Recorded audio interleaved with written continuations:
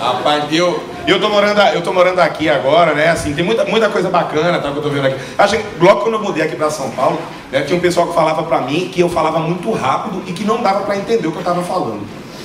Eu discordo disso. Porque, por exemplo, eu tô falando com você daqui, você fala muito rápido, de todo jeito vocês vão entender o que eu tô falando, não vão? Olha aí, pô, mas a pessoa dizer que não entende. Olha, o único momento que eu reconheço que fica difícil de entender o que a gente fala é quando a gente fica com raiva. Que o nordestino, quando fica com raiva, quando tá nervoso, aí vem sotaque, volta tudo, a gente já fala embolado. Inclusive, o povo nordestino é o único povo do Brasil que tem um superpoder. Gente, é o único povo do Brasil que consegue mandar uma pessoa tomar no cu na velocidade da luz. Isso aí. Ninguém consegue, porque se você ver uma pessoa de outra região qualquer, está com raiva, vai mandar uma pessoa, manda aqui, ó, vai tomar no cu, que é o normal, né? Normal. A gente quando fica com raiva, né?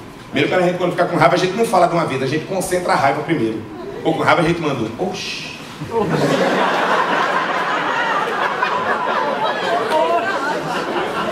Quando manda, manda de uma vez, manda. Vai tomar nesse teu cu não, vice. A pessoa fica aqui assim. Vocês não perceberam não, mas vai tomar nesse teu cu não, vice. Foram quase 10 palavras em menos de um segundo. A pessoa fica atordoada, ela não sabe se é pra tomar, se tá tomando, se já tomou. É cu de quem? No cu de quem? A pessoa fica perdida, não. Tem que ver. Atordoada lá.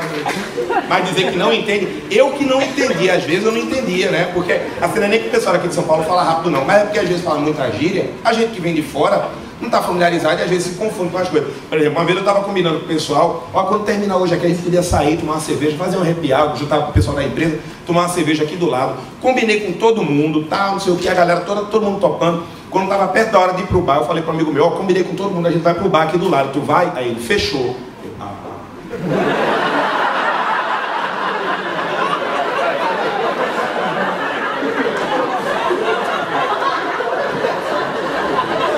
Vamos pra outro lugar então, né, pô? Tá combinado com todo mundo, mas pra mim, pra mim não tinha outro. Fechou, fechou, porra. Uma vez eu combinei de encontrar com um amigo meu, eu tava chegando na casa dele, aí mandei uma mensagem pra ele, ó, daqui a dois minutos eu tô chegando aí. Aí ele mandou, demorou. Eu fiz, eu nem cheguei ainda,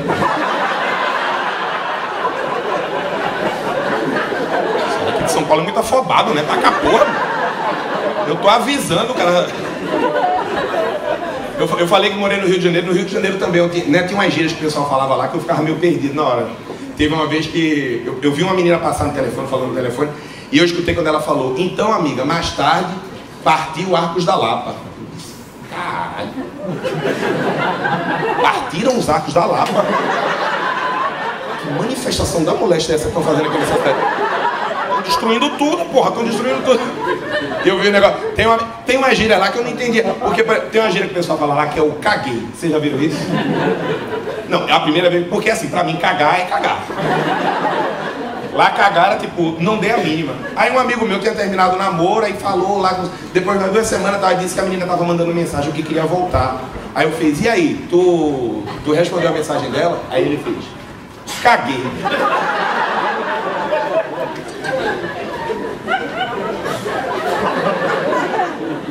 Mas aqui, na hora.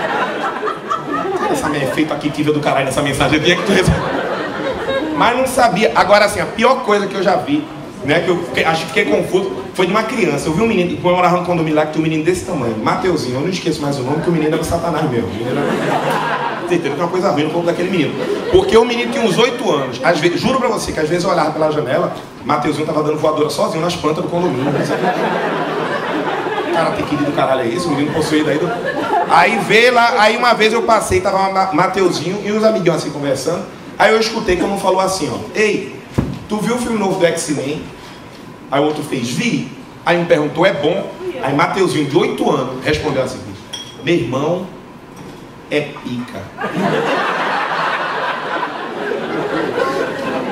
Passando eu parei assim, eu fiz, será que eu vi isso mesmo? Fiz, ei Mateuzinho, é o quê? Aí ele olhou pra mim e fez, é Paraíba, é pica, pica, pica, pica, pica, pica, pica. Eu sabia que tinha transformado X-Men em pornô. Eu já tava imaginando a versão pornô do X-Men, Wolverine com a piroca da Adamante. Três, né? Ciclope soltando raio pelo olho do cu. Uma merda, desgraça. A tempestade ia fazer, eu tô toda molhada, começa a chover, trovejar, os caralho. Eu, olha isso, que doideira. E, assim, eu não sou de me meter na criação dos filhos dos outros, não. Mas o pai dele passou, aí eu chamei o pai dele, eu fiz o seu Jorge, vem cá. Olha, longe de mim querer me meter na criação do seu filho, mas olha, Mateuzinho mais novo, ele estava dizendo aí, ele e os amiguinhos dele, viu, que iam ver um filme. Que era uma danação de pica que eu nunca vi na minha vida. Então não deixe não, né? Porque a criança nessa idade, ele riu, fez, ô Paraíba, isso aqui no Rio de Janeiro é normal. É normal, a criança nessa idade, aí ele fez, não, é que aqui no Rio de Janeiro a gente fala pica quando uma coisa é muito boa.